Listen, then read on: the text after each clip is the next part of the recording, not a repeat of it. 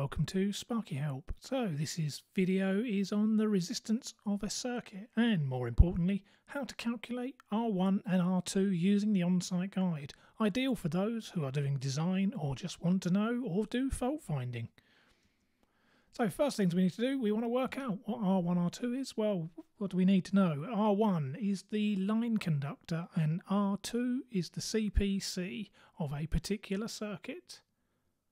So we'll take a, an example from a previous video. So this is cable calculations, uh, easy guide 2. So please go look at it and you will see we have already calculated the cable for this example that you see in front of you. So what can we what have we got? We have a thermoplastic 7 degrees single core cable 28 meters in length. All of this needs to be information you need to know about.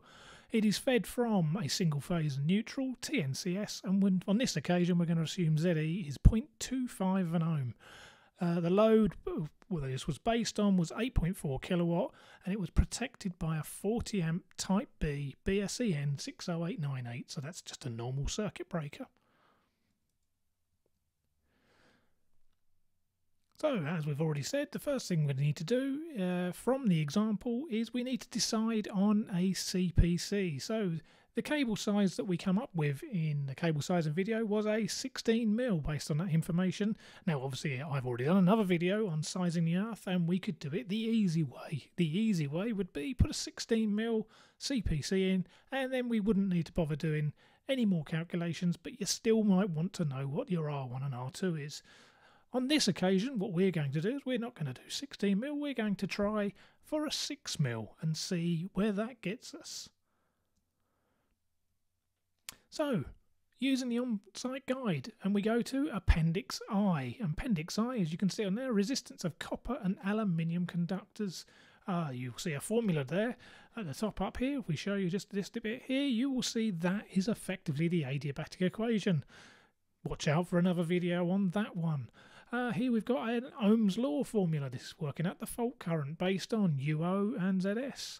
But we've also got the important part, what we can look at, it's all important, but we've got ZS equals ZE plus R1 and R2. And R1 and R2 are in brackets because that's your circuit that you install. ZE obviously is external to the electrical supply, although technically you could have something called ZDB.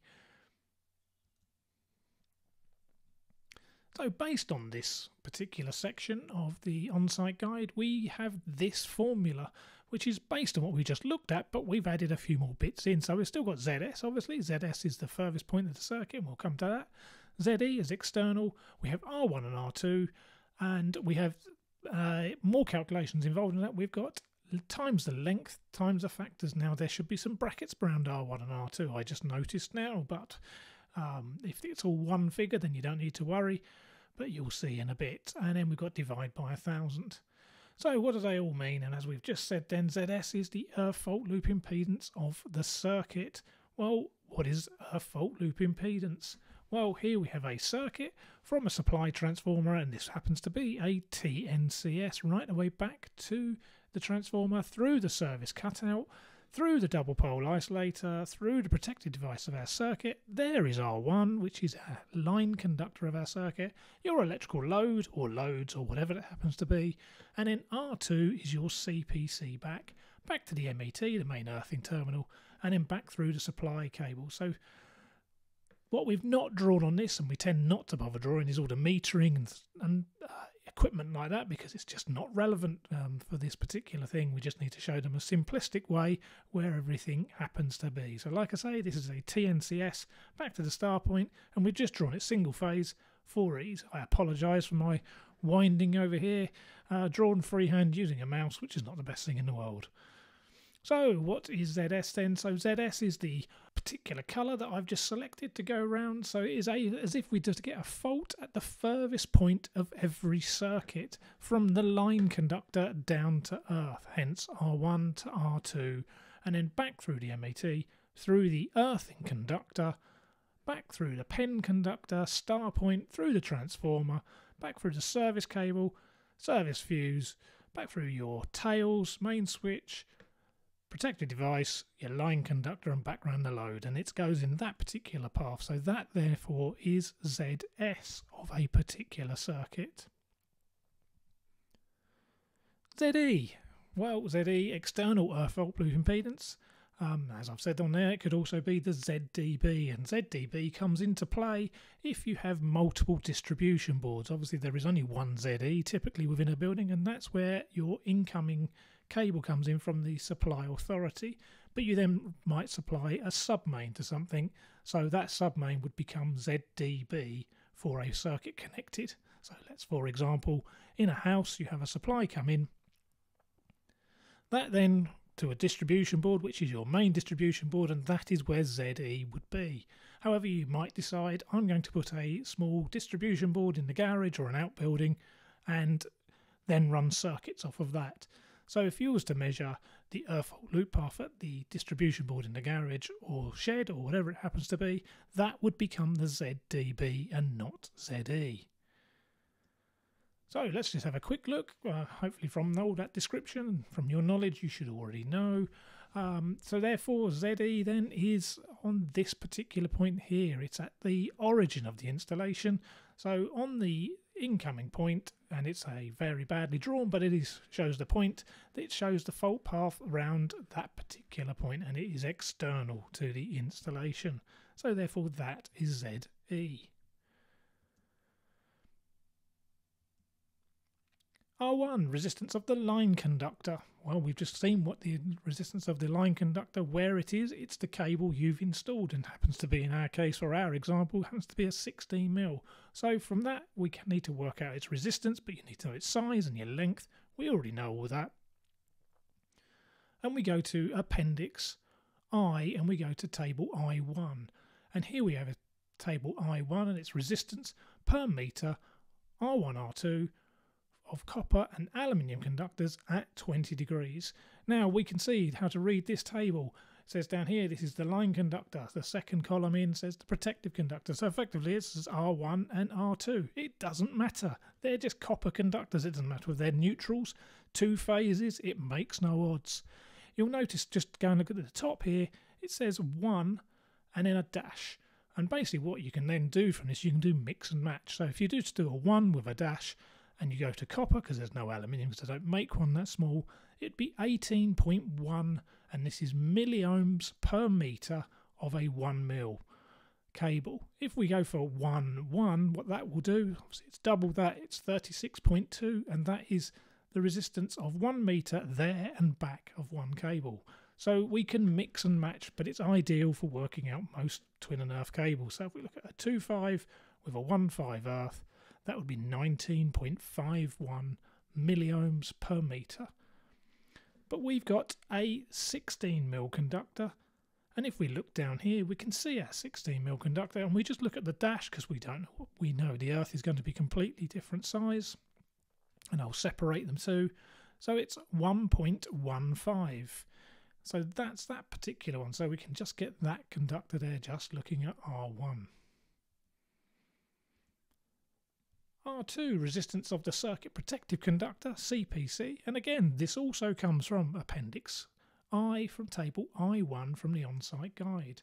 So we looked at that and we basically said it was going to be a 6 mil. So going from here we have our 6 mil cable by itself is 3.08 and that therefore is the resistance of just the CPC as it stands. Down here I could have had, actually could have just gone straight to this one here actually. I could have gone 16 and 6 by itself and 4.23 and it would have just added them already for me. But I haven't. So L is the length of the circuit. L is the length of the circuit and that was given in the previous video. So the length will be whatever you happen to work it out at. So if you've got a scale drawing, measure it. If you've just installed it, you could work it out. But remember, all this could be a rearranged. You could work backwards and find out what the length of your cable happens to be. F, well, F is the factor taken into account and it takes temperature into account because we may have seen on the table a minute ago the resistance of all those conductors was at 20 degrees. Now, now that's more like the temperature when you're generally installing cables. But on this occasion, what we're going to do is because we're going to compare it with the regulations, that's BS 7671, we're going to correct it for temperature as if it's operating temperature, and that will depend on its type of cable, and that comes from table I3 from the on-site guide, like so.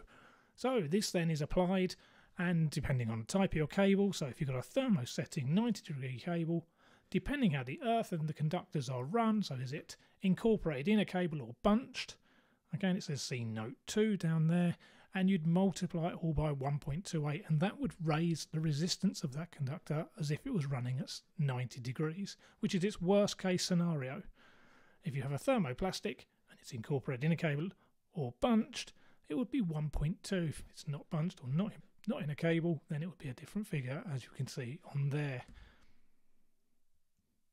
So our particular one was a 70 degree C thermoplastic and it was not incorporated because it's in singles and trunking, so it's 1.2 would be the figure that goes in. And then we've got divide by a thousand. Why divide by a thousand? Well, because the R1 and R2, they are in milliohms, and milli is a thousandth. So if you don't forget to uh, divide by a thousand, you'll get completely the wrong answer. But you could put it in as times 10 to the minus 3, to power of minus 3, if that's what you wish. But as long as you take it into account, I've just shown it as divide by a thousand. So let's look at it. So here's our formula. This time I have put it in brackets because we got them individually. I could have put them in as one.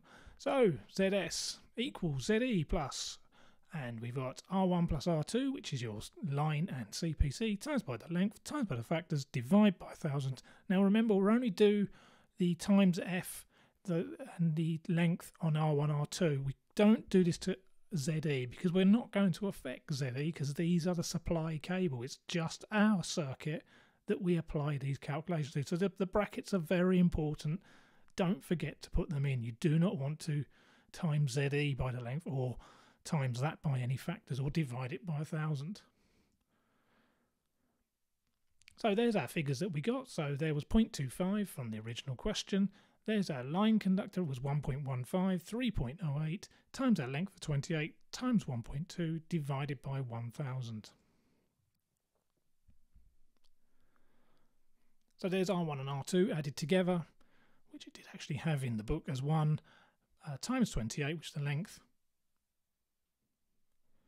And then all the right hand side turns into 0.142. So that's effectively your R1 and R2 of your line and Earth. Now remember, this is at 70 degrees C. And therefore, when we add these together, you can get the ZS. So we now know what the test results will be when working. So this is their worst case scenario. So it's 0.392 to 3 decimal places in this particular case. 2 would be perfectly adequate. So there's our value. 0.392 is a fairly straightforward calculation, just a bit of looking up.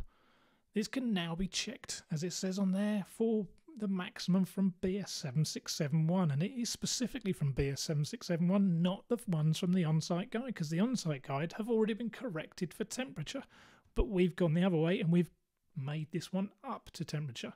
See one of the other videos where I've done it, where I haven't applied the temperature to it. So we go and look at BS7671, it comes from table 41.3, there's our type B circuit breaker, and we have a 40 amp and that has a maximum ZS of 1.15 ohms. That can now be compared um, with our calculated value and our calculated value is 0.392 and this was less than or equal to 1.15 so we're not above it which means our 3.92 ZS is perfectly adequate.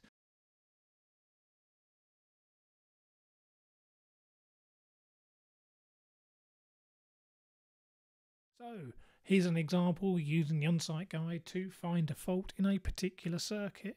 So this will look at a, an example of a 2515 twin and earth cable has a short circuit. Remember short circuits you'll find by doing an insulation resistance test. So if you're very lucky or unlucky depending on your point of view of finding one in the first place, but if you are trying to locate it, the next thing we could do is we could do a continuity test and actually find the resistance of it. And if you're very lucky and it is a complete dead short, we can get a reading. So using continuity, we can find the reading of R1 plus Rn. And in our example, just to make life easy, comes out at 0.18 of an ohm. So that's the resistance of the line and neutral uh, where the short circuit happens to be on this length of cable.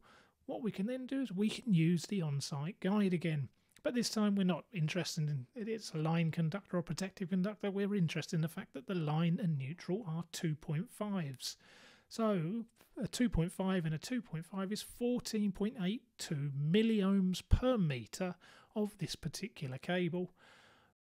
We can rearrange the formula or put a formula in the length of the cable, which we're trying to find out, which then allows you to then locate it without digging the entire garden up or ripping the ceilings out or whatever it happens to be. It's resistance divided by the resistance per meter of the cable. The resistance of the cable we've already got is 0.18. We divide that by 14.82. Remember that's in milli, but this time we times by 1000 and that gives us 12.15 meters. That is how far away from the point you are testing where the fault is likely to be.